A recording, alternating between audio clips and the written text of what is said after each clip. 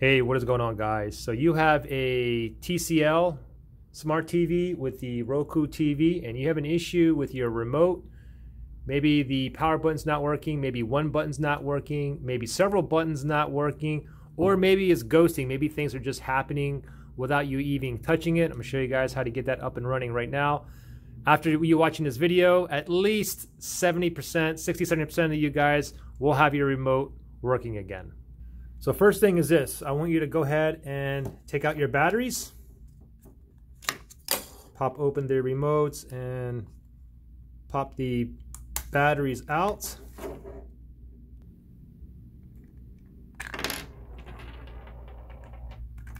Okay, once it's out, first thing I want you to do, so no batteries in here right now. I want you to go ahead and grab your remote and here's the power button right here.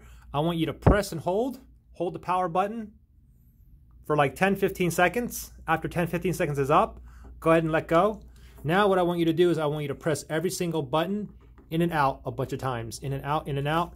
Typically what happens is like you can get lotion stuck in here or like debris and it gets one of the buttons like jammed.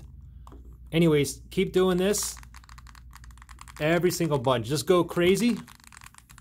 Every single button. The Netflix, Sling, Hulu, Amazon, all the buttons, and then I want you to do this. Smack it, and then do the same thing again. Push all the buttons again, in and out, in and out, in and out, all the way. Now go ahead and insert your batteries.